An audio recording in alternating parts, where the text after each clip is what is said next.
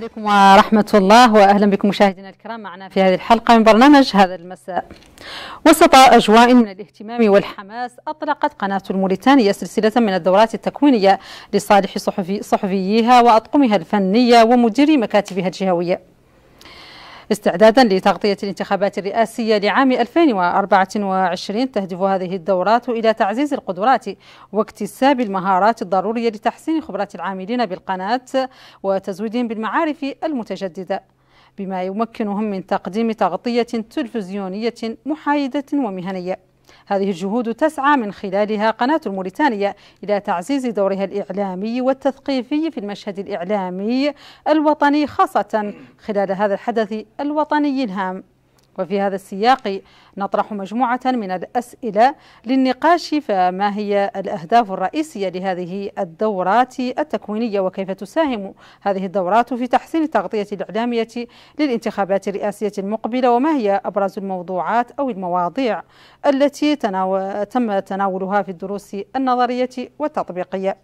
وما هي التحديات التي تواجه الصحفيين وأطقم القناة في التغطية الانتخابية؟ معي لنقاش هذا الموضوع. كل من السيد سعد ناول اللياي مدير التكوين والتعاون بالتلفزة. أهلا وسهلا بكم السيد المدير. معي كذلك الدكتورة صفية سيدي حبابة أستاذة إعلامية ومكونة في هذه الدورة. أهلا وسهلا بك دكتورة صفية إذا سينضم إلينا أيضا من مدينة أطار زميل الفاغا ولي الشيباني مدير مكتب القناة بولاية آدرار وأحد المستفيدين من هذه الدورة. أهلا وسهلا بكم الفاغا سينضم إلينا كذلك من مدينة نواذيبو زميل الشيخ والحميدي المدير المساعد لمكتب ولاية داخلة نواذيبو وأحد المستفيدين من الدورة التكوينية. إذا قبل الدخول في النقاش نبقى مع تقرير التمهيد التالي مع زميل المقبولة العويسي ثم نعود.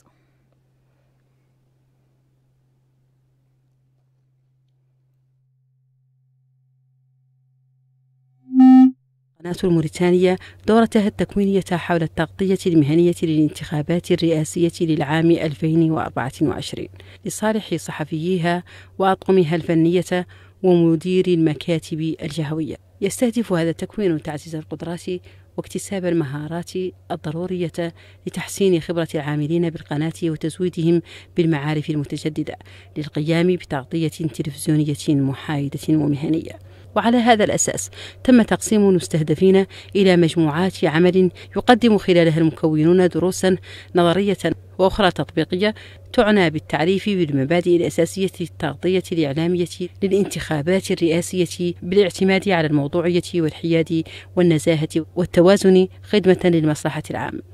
كما شملت العروض المقدمة نماذج من القوالب الفنية المتبعة في إعداد التقارير التلفزيونية إضافة إلى أسلوب المناظرة التلفزيونية والحوارات السياسية. دورة تكوينية تسعى من خلالها قناة الموريتانية إلى تعزيز دورها الإعلامي والتثقيفي والمهني في المشهد الإعلامي الوطني خاصة أثناء هذا الحدث الوطني الخاص.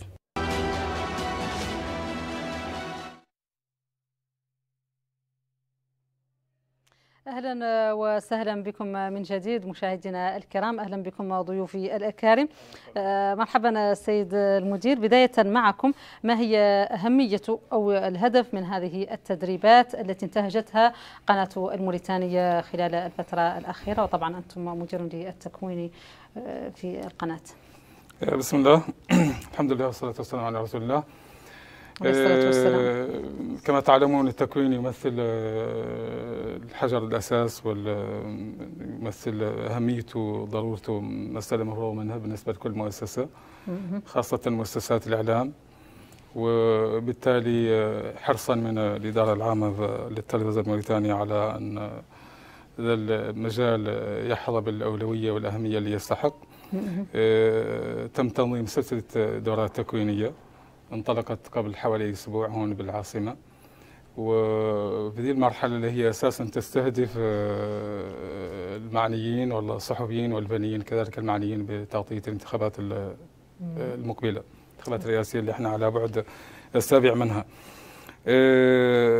هذه هذه الدورات التكوينية تهدف في الاساس إلى تمكين الصحفيين والفنيين كما قلت المعنيين بالتغطية المهنية للانتخابات تزويدهم بالمهارات والخبرات الأساسية اللي تمكنهم من القيام بتغطية تلفزيونية تتسم بالشمولية والموضوعية والدقة في ذات الوقت. وهي مسألة كما تعلمون ليست بالسهلة. لكن ثقتنا بالقائمين على التكوين المكونين زملائنا المكونين. ثقتنا كذلك في زملائنا الصحفيين المشاركين في الدورات التكوينية. الواقع سلسله الدورات التكوينية. ثقتنا فيهم واستعدادهم اللي أبدوا إلى الآن من أجل الاستفادة تحقيق أكبر استفادة ممكنة من هذه الدورات تجعلنا على ثقة تامة بأن إن شاء الله هذه الدورات التكوينية ستعطي النتيجة المؤملة منها وهي أن تعود عندنا أطقم صحفيه قادره فعلا على تغطية على القيام بتغطية تلفزيونية شاملة وتتسم بها على مستوى من المهنية والموضوعية. جيد شكرا لكم سيد المدير سنعود لكم في نقاش إن شاء الله. أهلا وسهلا بك دكتورة صفية. طبعا أنت أحد المكونين اللي شاركوا في هذه سلسلة الدورات. طبعا الدورة الأولى انتهت واليوم دخلت في الدورة الثانية. من هذه السلسلة من التكوين المتعلقة بتغطية الانتخابات. برأيك كيف يتم التعريف؟ برأيك كيف تساهم هذه الدورات في تحسين التغطية الإعلامية للانتخابات القادمة؟ بسم الله الرحمن الرحيم. الصلاة والسلام على النبي الكريم. بداية تحية خاصة لموريتانيا آه لإدارتها العامة إدارتها المديرة العامة التي فعلا أدت آه بينت لنا اهتمام كبير بهذه الدورات وأنها آه تعتبر فترة ستستمر من أجل تحسين مستوى الصحفيين في التلفزيون الموريتانية. أو شيء أكدت أنه سيكون مركز مستقبلي ستستفاد منه جميع المؤسسات الإعلامية والإعلاميين في الساحة. أما كيف يستفيد الصحفي أو يستفيد الصحفيون اللي مشاركين في الدورة؟ الاستفادة استفادة مؤكدة لأن الصحفي اليوم خاصة في هذه الفترة إحنا فترة القرن الواحد وعشرين وفترة التكنولوجيا الحديثة والتقنيات والتواصل الاجتماعي وكثير من الحداثة في مجال الإعلام فلا بد أن يتكون الصحفي بشكل مستمر. سواء كان هذا التكوين على الكتابة أو على البث المباشر أو على البرامج الحوارية أو على حتى كيفية تغطية أي مجال إعلامي فكيف بحدث كبير مثل الانتخابات والانتخابات الرئاسية. أصلا في هذا النوع من المجالات نحن نسميه حدث خاص. وهذا الحدث الخاص له تغطية خاصة ويجب أن يكون له اهتمام خاص من المؤسسات خاصة المؤسسات العريقة الكبيرة مثل التلفزيون والإذاعة ووكالة الأنباء يجب الاهتمام به بشكل خاص بالترتيبات له كتغطية وترتيبات له كتوزيع. فمعناها أنه لا بد من تكوين هذه الأطقم التي ستكون متخصصة في مجال التغطية. فلا بد أن يكون هناك تأثير كبير لهذا التكوين على على هذا الشباب. والتمسنا ذلك في في هذه الأيام. مثلا التمسنا في كيفية النقاش عندما نطرح مواضيع مثلا في كيفية التغطية سواء كانت هذه التغطيه تغطية مباشرة كتقارير مباشرة عن كيفية الحملة أو تقرير عن برامج حوارية مثلا سياسية أو أو أي نوع من التغطية في الحملات تحتاجينها أو تغطية حتى في مرافقه المرشحين. وجدنا أن الأسئلة المطروحة من قبل الصحفيين الذين يتكونون هي أسئلة فعلا في بلورتها أو في معناها يدل أن هذا الصحفي فعلا ما يعاني منه كان في التغطية سابقا أو ما يحتاجه سيجده في هذه التكوينات خاصة في دردشة معنا في بعض الأسئلة. فكانت هناك كثير من الأسئلة تبادل الخبرات. تبادل الخبرات وتبادل حتى المعاني والأسئلة عن بعض الأشياء. يدل أنهم فعلا أصبحوا في مجال وفي الحمد لله حيز وفي محيط من الوعي الإعلامي. آه الذي أصبح آه تجدي في الشخص نفسه بعض الأسئلة التي يجد أنها تخصه أو يجد أنها ستكمل له فكرة عنده وتكمل له عمل إعلامي عنده. وخاصة التغطية اليوم في الحملات الانتخابية أصبحت لها اهتمام آخر خاصة التلفزيون الموريتاني أصبحت لها مكاتب في كل مكان. صحيح. الإذاعات أصبحت لها إذاعات الحمد لله إذاعات كثيرة. المؤسسات الإعلامية الموريتانية الكبيرة التي يستند عليها الإعلام أصبحت لها تمثيليات في الولايات. صحيح. هذه التمثيليات تمتلك الكثير من الأهمية بالنسبة للمجتمع الموريتاني والتحديات أيضا. موجودة في تلك المناطق. فهذه التكوينات أنا أعتقد مثلا أنني التمست الاستفادة في الشباب خاصة في كيفية الحمد لله التغطية المقبلة وسنجد ذلك له مكانة كبيرة إن شاء الله في البرامج والتغطية التلفزيونية. إذا واضح إذا شكرا لك دكتورة صفية. إذا الآن نشرك معنا الزملاء في الداخل. نبدأ مع زميل الفاغة والشيباني من ولاية أدرار بمدينة عطار. أهلا وسهلا بكم الفاغة. آه، مساء الخير لك وللضيفين الكريمين. آه، مساء النور. رفاقة آه، حدثنا عن الاستفادة التي وجدتموها في مشاركتكم في هذه الدورة الأولى من نوعها لتغطية الانتخابات الرئاسية. التغطية المهنية. قبل أن أدلف إلى الحديث عن مخرجات هذه الدورة التكوينية آه، أحب أن أشير إلى أن هذه الدورة تأتي في سياق عام سياق آه، تقوم به آه، التلفزة الموريتانية عن طريق الإدارة العامة ويعني ذلك أولا هو تحسين المنتج الإعلامي وهو ما ظهر من خلال الأيام التشاورية التي نظمتها قناة الموريتانية. إضافة إلى أن القناة أيضا تستهدف تطوير وترقية المكاتب الجهوية. النقطة الثالثة هي هذا الرهان الانتخابي الخاص الذي يحمل أكثر من وجه. إذا هذه هي الدورة التكوينية تأتي في سياق تعزيز قدرات العاملين الصحفيين إن على مستوى الصحفيين أو الفنيين أو العاملين في البرامج وأخيرا مدراء المكاتب الجهوية. هذه الدورة تكتسب أبعادا أخرى وهو أن التلفزة الموريتانية تعلي وترفع من شأن التكوين من خلال مكونين موريتانيين. هذه النقطة الأولى. النقطة الثانية هي أن التلفزة الموريتانية أيضا سعت من خلال هذه الأيام التكوينية إلى ما يسمى بالتسجيل وهو خلق علاقة حميمية بين من كانوا ذات يوم يحملون مشعل الأخبار والبرامج والإنتاج من خلال وافدين جدد سواء الأمر تمثل في الإعلاميين الشباب أو كذلك معدي البرامج أو على مستوى مديري المكاتب. إذا هذه الدورة التكوينية حملت عنوانا بارزا وهو المبادئ الأساسية للتغطية الإعلامية والتي تطلب المزيد من الحياد والمهنية من خلال ما هو متاح للإعلام العمومي في ظل تحديات كبرى. تحديات تتعلق بالتغطية الإعلامية وتحديات تتعلق كذلك بالإعلام البديل إضافة إلى التقنيات الجديدة. إذا نعم. الأيام التكوينية جاءت أولا لتلبي شغف الصحفيين كما تعرفون هي صاحبة الجلالة. هذا الحدث الوطني الخاص يحمل أكثر من دلالة. إن على مستوى قيمته السياسية. ذلك أن النظام الموريتاني الذي هو نظام شبه رئاسي يعطي كافة الصلاحيات لرئيس الجمهورية. ومن هنا يكتسي هذا الحدث أهمية خاصة إن على مستوى التغطية وكذلك إظهار وإبراز الفاعلين المحليين. ولأول مرة في تاريخ قناة الموريتانية منذ إنشائها ستكون المكاتب الجهوية هي المسؤولة عن تغطية الانتخابات الرئاسية. واضح. إذا شكرا لكم زميل الفاغة. ما شاء الله توضيح كان واضح وينم عن حضور ما شاء الله كنتم حاضرين في الدورة التكوينية وكنتم أحد المحركين للنقاشات الرئيسية فيها إذا سنعود إليكم لمواصلة النقاش ولكن في دورة قادمة إن شاء الله الآن ننتقل إلى زميلنا الشيخ الحميدي المدير المساعد لمكتب الموريتانيا في ولاية داخلة نواذيبو مرحبا بك الشيخ طبعا أنت أحد المستفيدين من التكوين. آه نعم زميل آه مرحبا بك زهرة وبضيوفك الكرام.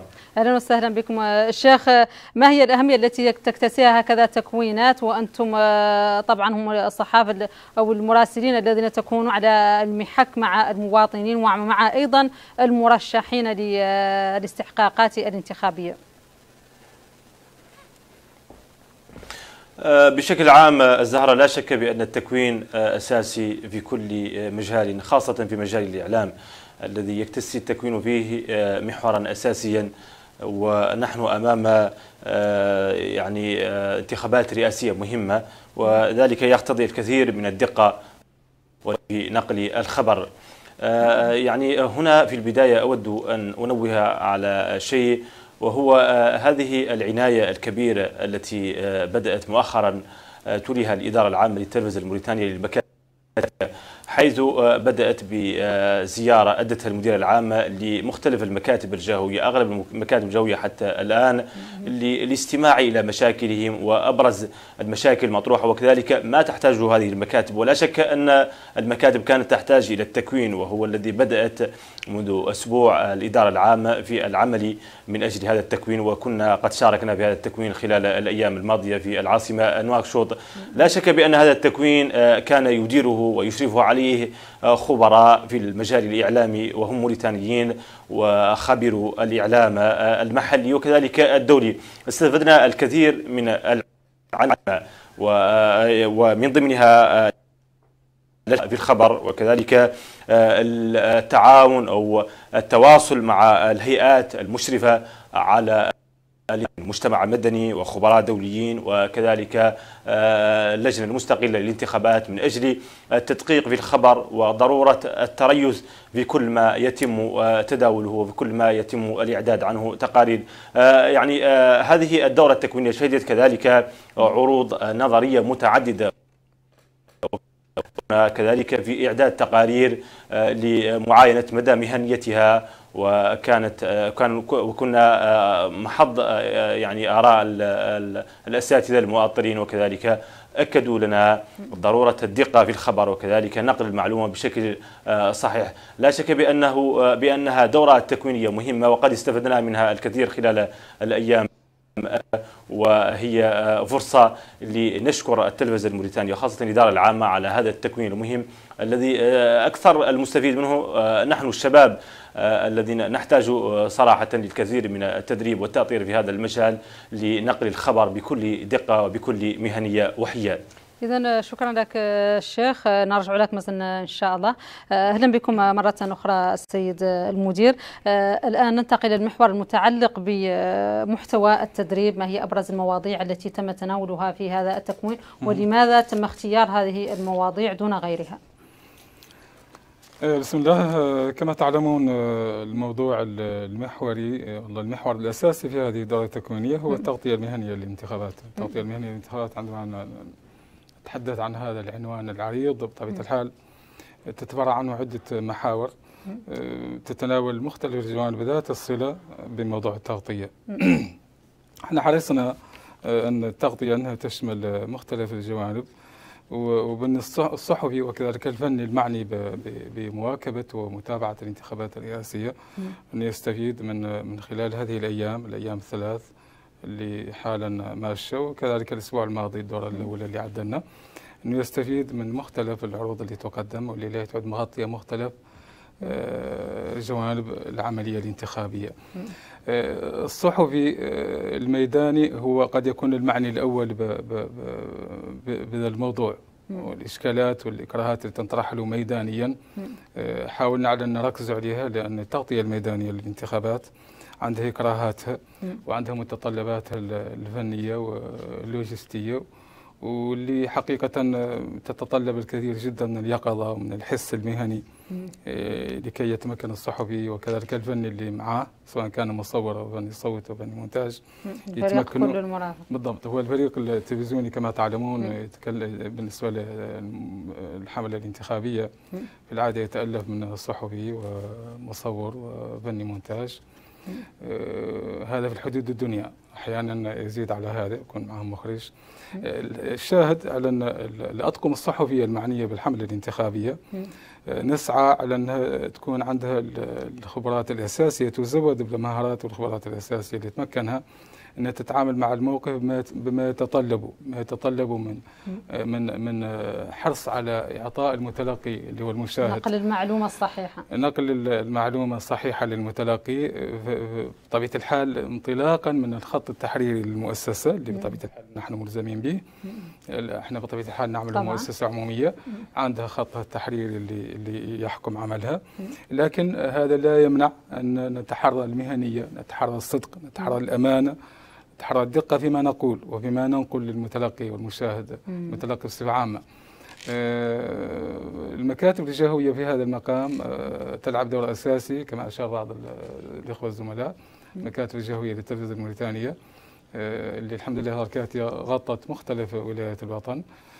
نحرص من خلال هذه المكاتب على أن نواكب الحدث في مختلف مناطق البلد. نواكبه بكل مهنية وبشكل آني. نجعل المشاهد المتلقي يعيش الحدث أول بأول. هذا طبيعة الحال يتطلب وسائل بشرية ولوجستية ما هي بسيطة. التلفزيون الموريتاني بصدد تعبئة كل الوسائل الممكنة والمطلوبة في هذا المجال. والغاية والهدف هو أن نحقق تغطية تلفزيونية. تتناسب وأهمية الحدث. حدث الانتخابات الرئاسية كما تعلمون حدث عنده خصوصيته. طبعا. ويتطلب الحدث السياسي الأبرز الحدث السياسي الأبرز بطبيعة الحال في, في كل بلد. ويتطلب مواكبة وتغطية إعلامية خاصة. ويتطلب كذلك أطقم إعلامية مستوى عالي من المهنية ومن الخبرة والكفاءة. ونحن على ثقة بأن أطقمنا الإعلامية وشبابنا إنهم قادرين على على رفع التحدي وعلى القيام بالتغطيه التلفزيونية المطلوبة. إن شاء الله. اذا شكرا لكم سيد المدير مرحبا بك مرة أخرى دكتورة. فيما يتعلق بالمحتوى محتوى التدريب الذي طبعا كنت قائمة عليه تقدمينه للمتدربين.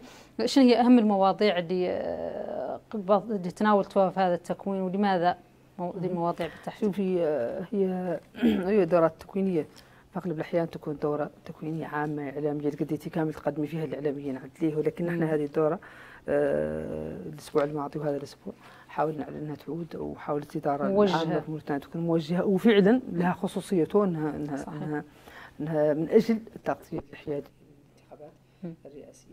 المواضيع اللي كانت عندنا مواضيع متميزة مع زدناها بياسر من بعض التعميم وبعض التوضيح في بعض المواضيع الاخرى اللي كنت عنها عناوين عندنا غير مطلوبين نعطوها.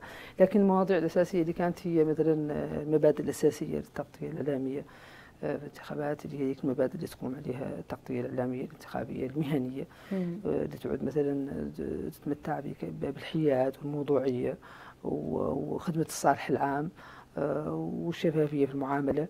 هذه نقاط ضرورية إنك في المبادئ الأساسية للإعلام إنك تعطيها في, في هذه المواضيع اللي تخص الحملة، خاصة إنك تركزي مولي في موضوع المبادئ الأساسية. عن الحملة إنها تغطية خاصة وإنه حدث خاص حدث خاص. وإنه حدث مليء بالأخبار مليء بالمعلومات وإنه فيه تنافس كبير إعلامي سواء كان في الكتابة أو في إعطاء المعلومات أو في التغطية أو كذا وكذا. هذا هذا بدايه.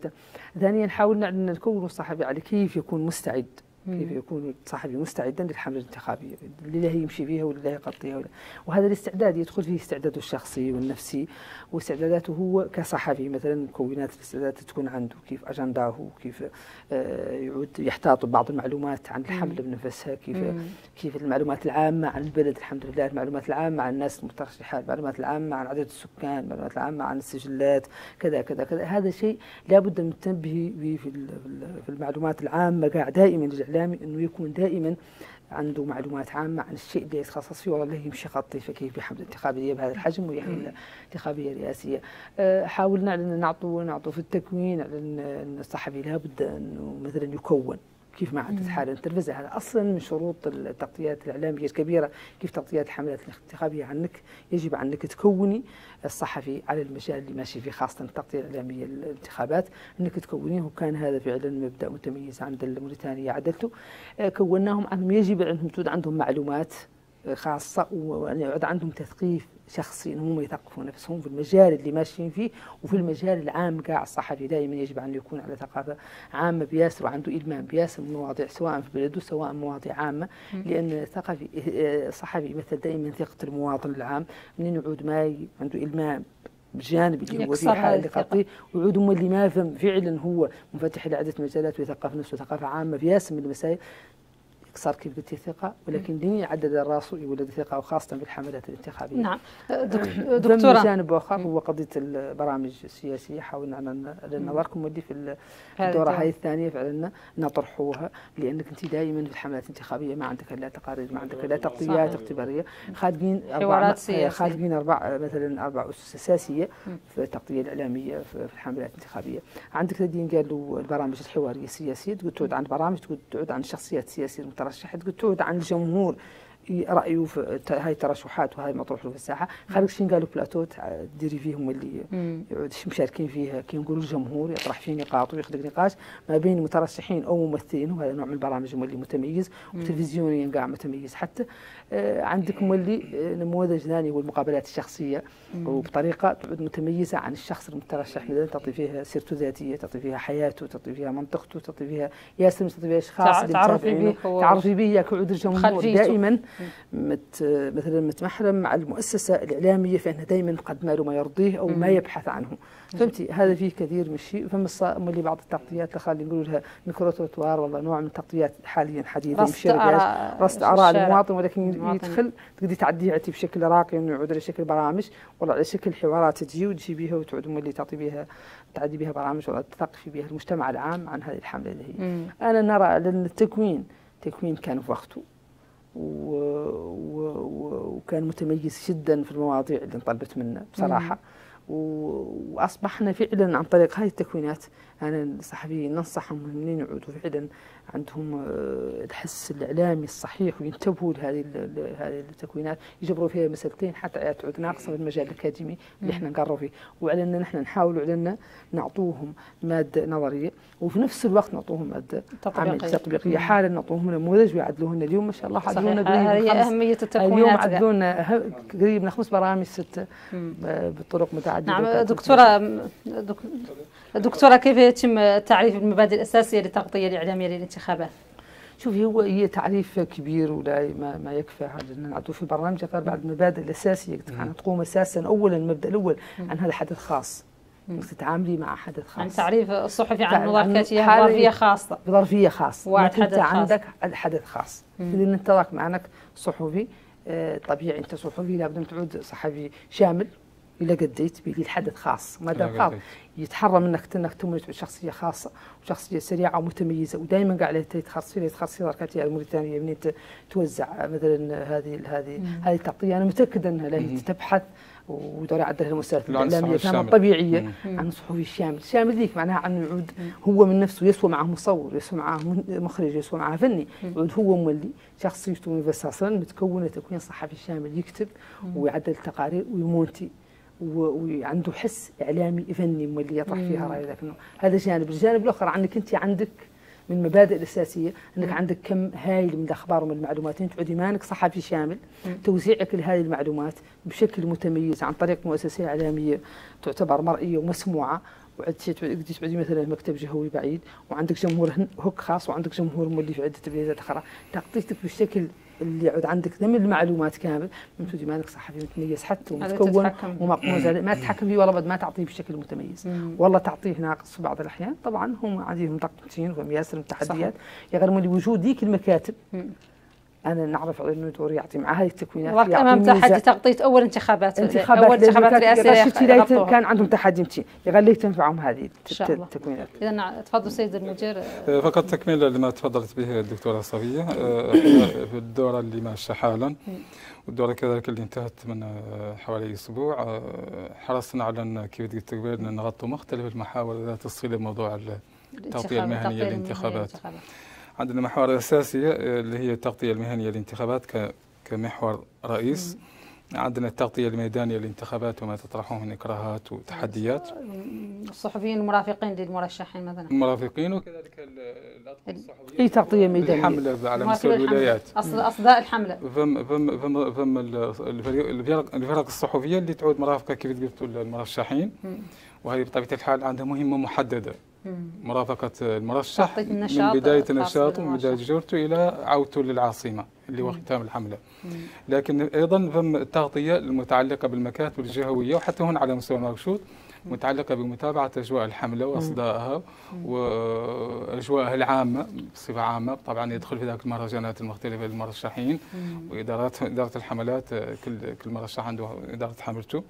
على المستوى الوطني وعلى المستوى الجهوي على مستوى كل ولاية. صحيح. هذه الأنشطة معنية بها المكاتب الجهوية أساسا وهذه أنشطة يومية كيف تعرفوا تتطلب جهد ما هو بسيط صحيح. متابعة أول بأول ولا مقبول فيها طبعا ما مقبول تقصير أو زاد الإخلال بأي نشاط له علاقة بالحملة في المجال مهنيا. المطلوب منا أن نواكب هذه الأنشطة كلها في التوقيت وفي المكان والزمان المناسبين وبدنا نقدم للمشاهد أصداء نجعله يعيش فعلا أجواء الحملة كما هي. بكل مهنية وبكل أمانة وبكل موضوعية. اذا لهي نواصل لك المحاور الأساسية كيف قلت لك عندنا التغطية الميدانية للانتخابات وما تطرح من تحديات. عندنا التزامات الصحفي في مختلف مراحل العملية الانتخابية، هذا يشمل مرحلة ما قبل الانتخابات بدءا من مراجعة اللائحة الانتخابية ثم إعداد لائحة المرشحين. الله زاد تقديم ملفات الترشح. ثم مرحلة الانتخابات عفوا مرحلة الحملة الانتخابية. وطبعا تدخل بها الحملة بمراحلها كاملة آه، وصولا لمرحلة الصمت الانتخابي ثم يوم الاقتراع. ثم آه، ما بعد الاقتراع اللي هو إعلان النتائج الأولية. إعلان النتائج النهائية والطعون وردود على الطعون والإعلان النهائي للنتائج. آه، الهدف كيف تقلنا نعلن الصحفي يعود في جميع هذه الحالات. يعود مهيأ أنه يتعامل مع كل موقف بما يقتضيه ما يتطلبه من استعداد للتغطية. ومن مهنية ومن أمانة ومن نزاهة في في تعاطيه مع مع أطراف العملية الانتخابية كاملة. آه، النقطة الأخيرة اللي اخترت تنبه عليها أشارت إليها الدكتورة صفية على أن على أن العملية عملية التغطية لا تتعلق فقط بالجانب الإخباري، المتابعة الإخبارية اليومية. فم برامج فم ندوات وبرامج حوارية معنية بمتابعة الحملة تستضيف مرشحين، تستضيف مسؤولي الحملات على مستوى كل مرشح. تستضيف حتى بعض الشخصيات السياسية آه، الفاعلة آه، ذات الصلة بالمشهد السياسي بصفة عامة ممثلة لكل الأطراف آه، بطبيعة الحال ستتم سيتم المؤسسة حريصة كما تعلمون هذا من باب التذكير فقط على أنها تعطي لكل الفرقاء السياسيين الفرصة في أنهم يعبروا عن برامجهم بكل أمانة بكل حياد بكل استقلالية. إياك تمثل كاملة بالتساوي بطبيعة الحال. هذا هذا مبدأ نعم. هذا مبدأ بالضبط أساسي تماما. إذا هذا هو اللي إذا شكرا لكم سيد المدير الآن نشرك معنا مرة أخرى الزميل الفاغة مدير مكتب قناة الموريتانية في ولاية آدرار. إذا ننتقل إلى الشيخ الحميدي في ولاية داخل نواذيبو الشيخ؟ نعم. مع نعم الشيخ ما هي المهارات الجديدة التي يتوقع المشاركون اكتسابها من هذه الدورات أو التي اكتسبتموها أنتم الذين أنهيتم أو نحن الذين أنهينا هذه الدورات نعم. نعم أنا كنت نعم. نعم زهرة أنت كنت من من من المكونين. صحيح. نعم. لا شك بأن كما تعلمين وأنت كنت من الحاضرين لهذه الدورة التكوينية أن هناك عديد الأبجديات وعديد المعلومات التي استفدناها من خلال هذا التكوين أولها أننا استفدنا كذلك من التكوين من دليل صحفي حول التغطية الإعلامية أو التغطية الإعلامية على مستوى الوطني وكذلك صحيح. أيضا دليل آخر قدمته الدكتورة صفية حول أبجديات التغطية آه، الإعلامية وما ينبغي أن يقوم به الصحفي في هذه آه، الظرفية المهمة والحساسة. آه، استفادات كثيرة. أنا شخصيا كنت يعني استفدت الكثير من الأمور التي لم أكن على إلمام بها حول التغطية الصحفية ومن ضمنها آه، كذلك ضرورة آه، متابعة آه، معلومات المترشحين وكذلك التواصل المباشر والدقيق مع منظمات المجتمع المدني وكذلك المراقبين الدوليين حول العملية الانتخابية. هذه أمور من بين أخرى استفدناها من هذا التكوين المهم والذي لا شك بأنه له ما بعده وأنه سيكون إضافة نوعية للطاقم الإعلامي على مستوى التلفزة الموريتانية. آه، الطاقم الإعلامي وكذلك الفني فهناك يعني المصورون وكذلك الفنيون في المونتاج المراكز الأساسية استفادوا كذلك من هذا التكوين. آه، زهرة واصل واصل آه نعم آه كما تعلمين أن المكاتب أن حضور المكاتب الجهوية في هذه الدورة التكوينية كان مهم. رغم أن مثلا أن كل المكاتب جلهم حضر آه، اليوم آه، بقية المكاتب المشاركين في هذه الدورة التكوينية من المدراء نعم. آه، وهي فرصة لنعبر عن الاهتمام الكبير الذي شهدته المكاتب مؤخرا نعم الشيخ. من طرف الإدارة العامة للتلفزيون نعم شكرا لك شكرا لك الشيخ. نرجع للفاغة الفاغة شكرا الزميلة نعم. زهرة. بما الفاغة كيف لهذه المهارات التي اكتسبتموها من خلال هذه الدورة؟ أن تعزز من مهنية تغطيتكم للانتخابات أو تغطية المؤسسة بشكل عام للانتخابات الرئاسية أعتقد أن هذه الدورة نجحت أولا فيما يسمى أو يعبر عنه بتحريك المياه الراكدة. ذلك أنها جمعت لأول مرة بين منحيين أو استراتيجيتين. الاستراتيجية الأولى هي الاستراتيجية النظرية التي كان البعض دائما يتخوف منها. حيث وامت بين النظر والتطبيق. وما أعنيه بالنظر أن هناك كانت هناك مبادئ أساسية عن كيفية التغطية المهنية المتعلقة بالحياد والموضوعية والتوازن إضافة إلى أن التغطية آه، آه، المتوازنة التي آه، تطلبها يطلبها التلفزيون هي تغطية خاصة. هذه التغطية هي ما حرصت هذه الدورة على الانشغال به من خلال التدريبات التي تم تكليف الصحفيين بإعداد تقارير عن آه، بعض آه، نماذج من المهرجانات. إذا هذه الدورة نجحت أولا في المزج أو المزاوجة بين ما يسمى بالمبادئ النظرية وكذلك التطبيق من خلال آه، خبرة ومكونين كانوا آه، بالأمس القريب هنا آه، في قاعة الأخبار وبعضهم أيضا كان في قاعة البرامج. ولعلهم لأول مرة ركزوا على ما يسمى آه، في البرامج بالمناظرة، المناظرة في تاريخ الإعلام السياسي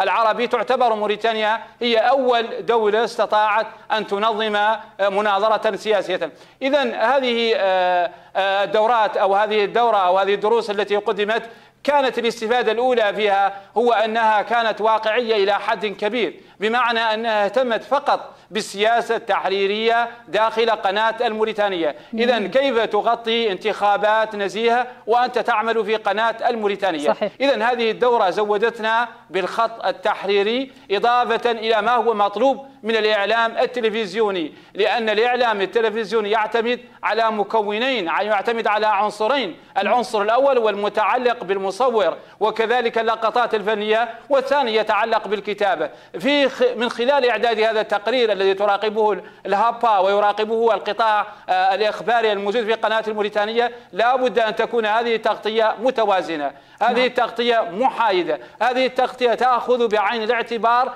كل الاهتمامات والانشغالات نعم. ولعل من من من من جميل هذه الدورة أنها أثارت خلافا حول أي المدرستين نطبق هل نطبق المدرسة التقليدية أو نطبق المدرسة الحديثة جيد. وكان آه، البعض يرى بأن الواقعيه تفترض أنه ماشي. في التقارير الاخباريه لا نعم. يمكن نعم. الاعتماد على المقابلات أو أو أو ما يسمى نعم. بأخذ نعم. آه، بعض المقاطع من المرشحين لأن نعم. هذا سيخلق ضيقنا شوي. إشكالية فيما يتعلق باختيار الممثلين. نعم هذا تقرير ما شاء الله. إذا نرجع لكم مازلنا إن شاء الله طبعا تحية خاصه نعم صحيح ما شاء الله شخص حاضر تبارك الله ما شاء الله. نعم سيد المدير. نواصل حول التأثير المتوقع الذي تتوقعونه أنتم كإدارة لهذا هذه التكوينات على نسب المشاهدة والمصداقية التي تكتسبها القناة من هذه التكوينات. أعتقد ان ان انك جاي تمشي فرق صحفيه مهيئة مكونة مزودة بالمعارف الأساسية المطلوبة للتعاطي مع حدث سياسي بهذا المستوى من الأهمية. إنك بطبيعه الحال لا تتوقع على نتيجة إيجابية ولا تتوقع تفاعل إيجابي من الجمهور والمتلقي بصفة عامة مع ما تقدم مع مخرجات العملية الإعلامية. آه، كما تعلمون إحنا في عالم مفتوح فضاءات مفتوحة. والبقاء اليوم والله المشاهد اليوم لا, لا, لا الأجود. كلما كانت المادة المقدمة المادة التلفزيونية المقدمة آه، يعني جيدة البدائل كثيرة. البدائل كثيرة. البدائل كثيرة جدا. ويكفي فقط لمس الزر لست بحاجة حتى أنك تنقل جهاز التلفزيون. منافسة شرسة تحولي لمس الزر وانت قاعدة والله تاكي صح. على مكانك. تنتقلي بين مئات بل آلاف القنوات التلفزيونية في العالم كله. فضاءات مفتوحة. هذه هذه مسلمات. بالتالي البقاء لا الأفضل من هون تأتي أهمية التكوين. تكوين وتحسين الخبرة ومتابعة التكوين. لأن هذه هذه هذه هذه هذه معلومات متطورة ومتجددة. معناها تقنيات متطورة. وبالتالي مواكبتها من الأساسيات العمل التلفزيوني اليوم. لمن يريد أن يحافظ على الحد الأدنى من المتابعة. المتابعه التلفزيونيه أقصد. يحافظ على جمهوره. معناها اعلنا ذا النوع من الدورات التكوينية. آه، كيف قلت لكم نحن من خلال تزويد الأطقم الصحفية بالمهارات الأساسية في المجال. نعم سيد الموجب طيب تفضل. واصم من, من خلال تزويد الأطقم الصحفية بالمهارات الضرورية اللي يجعل يجعلهم يتعاملوا مع المشهد السياسي خلال الحملة الانتخابية بالمستوى المطلوب من المهنية من النزاهة من الأمانة من الدقة في نقل المعلومة من الشمولية في التغطية. هذا بطبيعة الحال يفترض يفترض أن ينعكس إيجابا نعم على المتلقي وعلى اتساع دائرة المشاهدين وعلى نعم. مصداقية المؤسسة نعم سيد المدير وما هي التوقعات آه، آه، حول دور القناة في المشهد الإعلامي آه، الوطني خلال فترة الانتخابات؟ المشهد التلفزيون كما التلفزيون الموريتاني كما تعلمون هي هي واجهة البلد الإعلامية بدون صحيح. منافس. وهذه المكانة تعززت خلال السنوات الأخيرة بالضبط سنتين أو ثلاث سنوات الأخيرة. بفضل شمولية التغطية على المستوى لا مركزيه التغطية على المستوى الوطني. اليوم مختلف جميع ولايات الوطن. توجد بها مكاتب جهوية وهذا بطبيعة الحال يجعل التلفزة الموريتانية هي الوسيلة الإعلامية الأولى ويسمحوا لي زملائنا في الإذاعة بطبيعة الحال إحنا هم لا اتفاق ذاك. الوسيلة الإعلامية الأولى في مجال البث التلفزيوني المرئي المسموع بطبيعة الحال. طبعا. المرئي المسموع معناها التلفزيوني. بالتالي تحصيل حاصل على نقول على ذا النوع من الدورات التكوينية كلما حرصنا على تحسين خبرة العاملين مجال التلفزيون كلما سعينا في أن نجعلهم يواكبوا التطورات المتلاحقة في هذا المجال كلما مكناهم من التقنيات المطلوبة في المجال إياك يؤدوا عملهم بمهنية. وبالمهارات المطلوبة. بطبيعة الحال كل ما جعلناهم أقرب للمتلقي كل ما جعلنا المتلقي أكثر صلة بهم بالمؤسسة أقصد بالتلفزة. وبالتالي يرفع ذلك من اسهمها لدى المشاهدين بصفة عامة. جيد، اذا دكتورة صافيه أنا بداية قبنتيني في الوقت. طيارتك ورا المراسلة ترجع لي أنا باللي عقبك أستاذ يعني خلص منك قبيلة. راني أنا. خلص مني خلص منك قبيلة. اعطيتك اعطيتك الحديث مرتين وأنا اذا اذا ندخل مباشرة دكتورة كيف يتم تقييم مدى استفادة المشاركين من هذه الدورات؟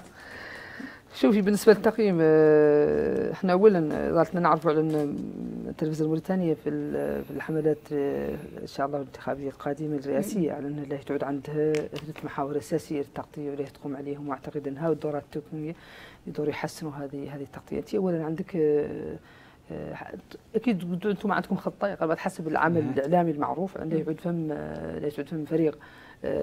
مرافق للمرشح. تمام هذه أول أول صحيح. أول جانب. الجانب الثاني عندك لا تعود عندك حصص مجانية متقادين فيها المرشحين كامل. هي الدور اللي تقوم بجودة وتنظيم ذيك الحصص. المسألة الثالثة هو اللي ينقالوا آه تقارير اليوميه اللي تعدل الموريتانية. آه الحمد لله التقارير الإخبارية في نشراتها.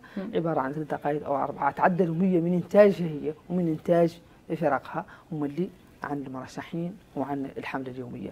هذا طبعا زايد بكثير من النشاطات ومن البرامج ومن هذا اللي يتعدى فيها غير هذا بعد النقاط الثلاثة والله هذا العمل الثلاثي ذا هو أنا أعتقد أنه أصلا سابقا كانت الموريتانية لا تتميز فيها لأنها تختار تعدله بشكل ملتزم وبشكل ماشي على خط تحريري معين صحيح. بدون القبن بدون إنها نخلي حد ما يعطي تحصته وتعود محاضره حتى أنها يكون تتقن المجال الإعلامي. اذا معروف عندنا أن نحن هذه مؤسساتنا الإعلامية الرسمية يحاولوا أنهم يديروا البلد في صورة متميزة مع هذا اللي قال المشاهد والله مع نقل المعلومة إلى المشاهد. اليوم زايد باش زايد اولا يعني كانت فكره التكوين عند إدارة الموريتانية فكرة متميزة وسباقة فيها التلفزيون الموريتاني بكل صراحة. صح افتتاح معهد التكوين. باركت عليها مركز. باركت المدير عليها بها اللي آه كانت حاله من فترة شفتي التكوين الإعلامي؟ نحتاج له بشكل مستمر. غير مولي إنك تعدلي ما يوقف مولي ولا يوقف مستمر. به اللي خبرة الصحفي منين تنزاد يوميا؟ يعني ينزاد المعلومات عند الصحفي وتنزاد الخبرة وتنزاد ينزاد الإبداع في المؤسسة. نحن عندنا التكوين. متاكد أنا عند اللي ينقال له هذا الشباب اللي في المكاتب والشباب اللي هون اللي شاركوا عنهم أكيد فهم تحسين اللي يخرج في المادة الإعلامية المقدمة في التلفزيون. هذا تكدي منه. فمن نقطة أخرى على اللي قال له التغطية آه، حالا في الحملة على أن الموريتانية كانت عند الموريتانيا وعند الجمهور الموريتاني ينتظرها دائما أن هي الله يتقدم له. الحقيقة أو يتقدم للمشهد السياسي الطبيعي والعادي. اليوم لا يتقدم بشكل متميز لأن لأول مرة لا يتعود عنده تغطيه على مستوى البلد بشكل عام عن طريق مكاتبها تمام. وهذه المكاتب بالمساعدة مع الفرق الموجودة مع تغطيات اللي مست... اللي ماشيين متفقين مع, مع المرشحين. لا يخلق الحمد لله تزاوج المعلومة وذاك التزاوج له يعطي هون ميزة معينة في المادة المقدمة بشكل جيد. الا فهم نقطة تناولناها في, في شوي نقطة مهمة يجب أن ناكدوها اليوم في مقابلتنا هذه آه، في البرنامج. وأكدناها في التكوين هي قضية روح الفريق وقضية أن يعود هناك نوع من التفاهم الكبير وشفناه مطلوب في نقاشنا في التكوين مطلوب من أنواع الشباب انه نعم. ما بين المصور والصحفي والفني الحمد لله لين يشكلوا هذا فريق ناجح بالنسبة للعمليات نعم نعم. دكتوره سيد المدير هل هناك خطط لمتابعة الصحفيين بعد انتهاء هذه الدورات؟ أه، متابعة الصحفي على كل حال إحنا على ثقة تامة بأن بأن هذه الدورات التكوينية إنها الدورات تعطي النتائج المؤملة منها، متابعة الصحفي ستتم بطبيعة الحال من خلال مخرجات عمله من خلال عمله اليوم اللي نشوفه على الشاشة من خلال البرامج اللي يقدم من خلال التقارير التلفزيوني اللي قدم والطبيعي والمنتظر والمتوقع أن تنعكس تنعكس هذه الدورات إيجابا على أدائه اليومي من خلال التزامه بالمعايير اللي تم تحديدها القواعد والضوابط اللي تم تحديدها من قبل الأساتذة المكونين من قبل طاقم الإشراف والتكوين الصفة عامة. ونحن على ثقة تامة بأن زملائنا الصحفيين المشاركين في هذه الدورات التكوينية أنهم لا يعودوا على مستوى التحدي. إن شاء الله. ولا يبرهنوا على على مستوى استفادة من هذه الدورات التكوينية. وهذا بطبيعة الحال هو المؤمل وهو طبعا. أه، دكتورة من رأيك كان تم استعراض نماذج للمتدربين وكيف يمكن استخدام هذه النماذج لتحسين الأداء؟ إيه، إحنا عدلنا نماذج بعد. أه، شوفي نحن جانبنا العملي اللي نعدله أنا ويعدل الأستاذ تقي الله عدلوه على تقارير وأعطيناهم نماذج. حالا في الشعب وردوا علينا رد كان متميز وبدون مجاملة هم شباب على المستوى. تماما. وخاصة على إني أنا ألتمس فيهم كاملين اكثريتهم خاصة اللي على المكاتب التمست فيه الصحفي الشامل. صحيح. صراحة. اللي كلهم عنده تحدي ويشتغل في مجال معين وعلى مكتب ويلود الابداع ويلود فهم تنافس ما بين تمام. المكاتب هم اللي عاطي ميزة معينة. معناها ان نحن عدلنا لهم آه تمرينات عملية قضية التقارير وكيفيتها وخاصة التقارير في الحمل إحنا حاولنا نتخصصوا في المجال غير هم ليش من ذاك نطفل ونعطوهم شو المبادئ الأساسية في علم الإعلام اللي أنت لابد لك منه. صحيح. وفي نفس الوقت هم اللي عدناها لهم في البرامج. عندك عندك بلاتو ولا عندك برنامج الليلة.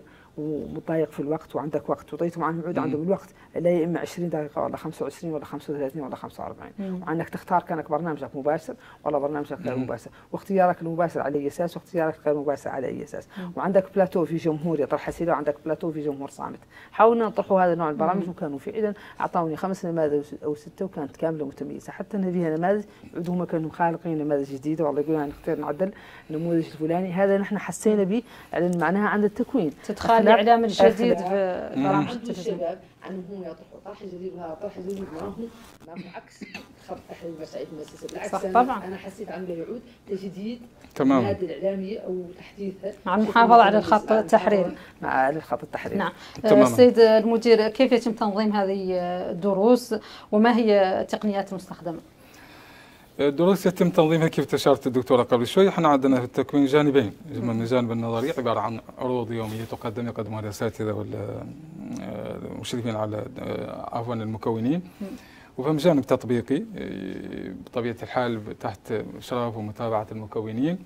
هو إعداد تقارير أو برامج نماذج برامج أو نماذج تقارير ميدانية. من خلالها نعرف مستوى الصحفي ومدى التزامه ولا مدى احترامه للمعايير المهنية المتعارف عليها في المجال بطبيعة الحال الإخوة وهذا شيء طبيعي يتفاوتوا في مستوياتهم. لكن المؤمل وهذا هو هي النتيجة المتوقعة إن شاء الله من مثل هذه الدورات على الصحفيين وكذلك الفنيين وبالمناسبة الفنيين إحنا سينما أعطيناهم ما يستحقوا إحنا بصدد تنظيم دورات تكوينيه إن شاء الله خاصة بالمصورين وفني المونتاج والمخرجين كذلك لأنه كما تعلمون الفريق التلفزيوني متكامل. فريق متكامل, متكامل. يبدأ طبعا من الصورة غير الصورة لا بد لها من مخرج ولا بد لها من فني الصوت لا بد لها من فني إضاءة. والتلفزيون عبارة عن صورة قبل كل شيء. هذه مسلمات التذكير بها ما خص شيء. بالتالي نحن نحرص على أن يعود التكوين تكوين تكوين شامل كون فرق تلفزيونيه شاملة.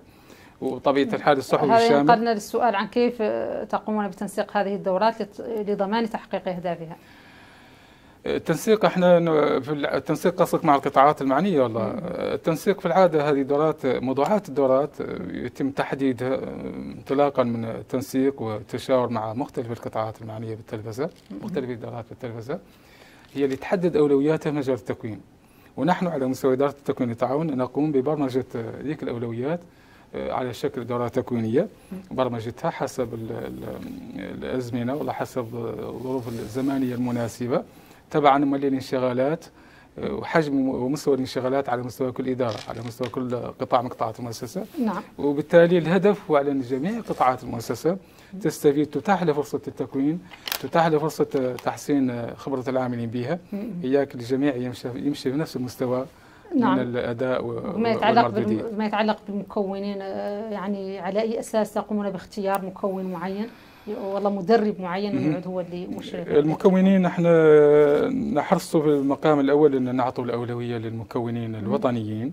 بطبيعة الحال ما هو أي مكون نقبضه نعتمد عندنا محددات ومعايير واضحة معايير واضحة في المجال. هو الخبرة الكفاءة بطبيعة الحال التخصص في المجال قبل كل شيء والخبرة والكفاءة والتجربة. هذه أساسيات هذه هذه ثوابت على أساس يتم اختيار المكون. وكما تعلمون خصوصية المكون الوطني لأنه هو أدرى بخصوصية البلد بخصوصيه المؤسسة الإعلامية شغلات الصحفي التحديات اللي يواجه الصحفي يوميا. إحنا كما تعلمون استطعت أن نجيب وهذا شرط مدير العام بعد اللقاءات نعم. استطعت أن نجيب أحسن مكونين من خارج البلد. لكن واقع الواقع الواقع الموريتاني خاصه واقع مؤسسات الإعلام تحديات الواجهه الصحفي على بشكل يومي على مستوى أداء الميداني هذه يعرف الموريتانيين يعرف المكون الموريتاني. وبالتالي من هنا آه، كان التركيز والله كان كانت كان إعطاء الأولوية للمكونين من اساتذه زميلتنا الدكتورة صفية. طبعا من خيرة من يعمل في هذا المجال.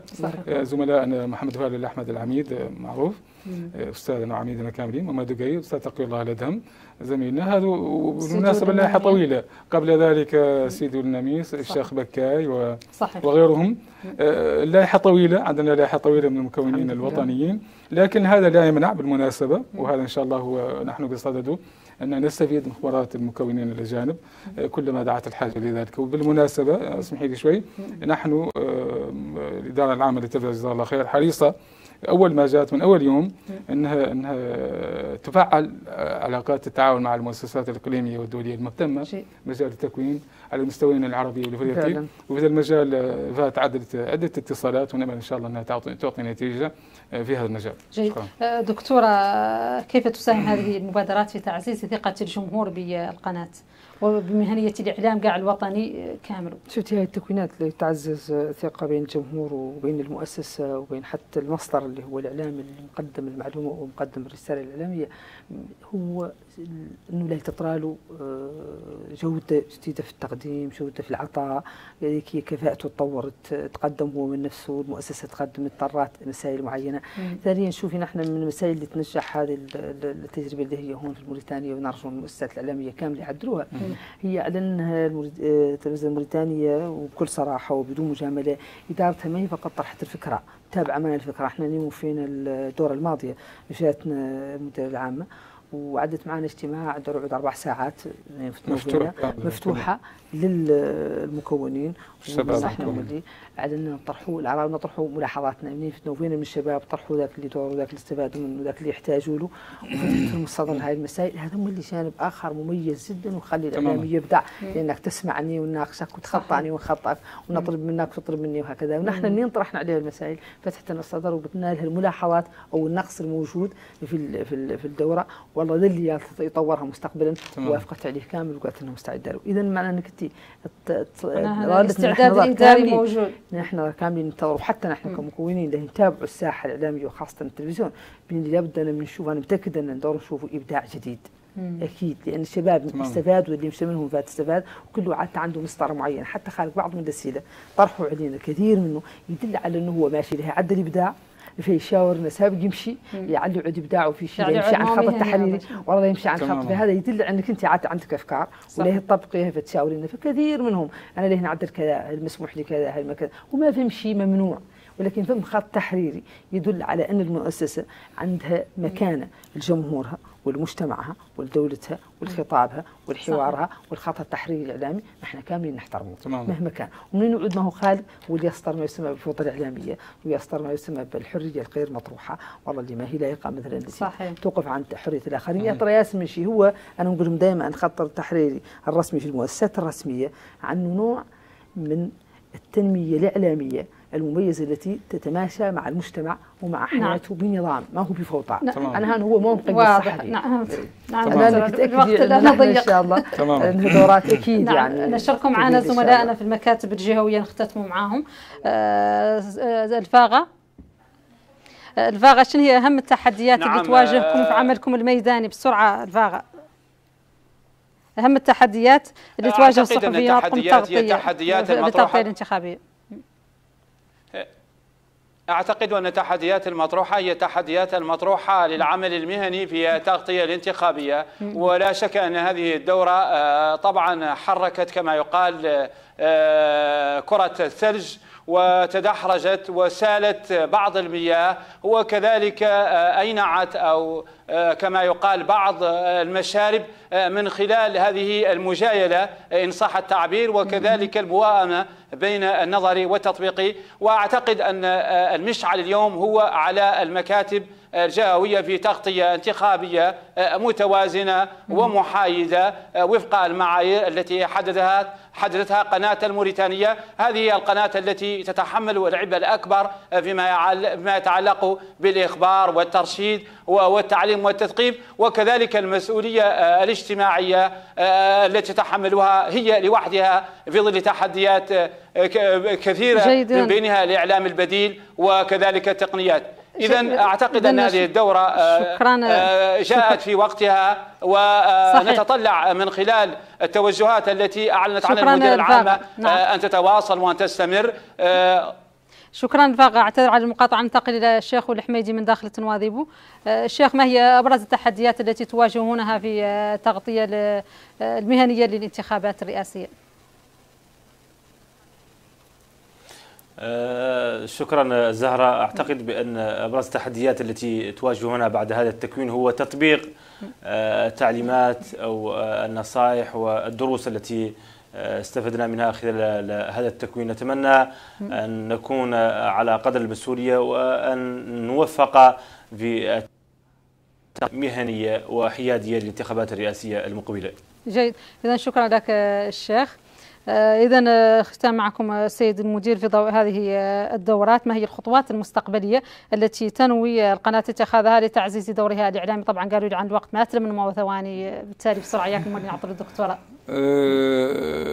التلفزة الموريتانية من خلال إدارة التكوين والتعاون حريصة على أنها تعزز مكانتها وتعزيز المكانة ينطلق حتما والله يمر حتما خلينا نقول بالتكوين تحسين الخبرات وظهر الميلان على أن هذه الدورات التكوينية اللي نحن بصدد صددها تدخل في السياق اللي هو. تعزيز المكانة الإعلامية لأي مؤسسة يتطلب مخرجات إعلامية تستجيب لتطلعات المشاهد تستجيب لاهتمامات والانشغالات اليومية تخاطب المواطن البسيط بكل أمانة تعكس همومه وانشغالاته وتطلعاته وبالتالي تعكس ما يسمى بإعلام القرب. وهذا حقيقة هو هو اللي نحن آه، نسعى في التلفزة الموريتانية إلى تجسيده على أرض الواقع. إذا شكرا سيد المدير تفضلي دكتورة آه، كيف تضمن هذه الدورات تحديث المعلومات والمعارف المتعلقة بالتغطية الإعلامية؟ هذه الدورة بالاستمرار سيتحقق التحديث. اذا شكرا إن شاء الله. اذا شكرا لكم ضيوفي الكرام شكرا لكم السيد سعدنا والاحمد لياي مدير التكوين والتعاون بقناة الموريتانية. شكرا لكم. شكرا لكم دكتورة صفية حبابه استاذه أستاذة في الإعلام ومكونة في هذه التكوينات التي تقيمها قناة الموريتانية. شكرا لكم زميل الفغا والشيباني مدير مكتب قناة الموريتانية بولاية ادرار شكرا لكم زميل الشيخ والحميدي مدير مكتب قناة الموريتانيه مدير المساعد لمكتب قناة الموريتانية بولاية داخلة نواذيبو شكرا لكم مشاهدينا الكرام على حسن المتابعة. تقبلوا تحياتي وتحيات فريق العمل وإلى اللقاء.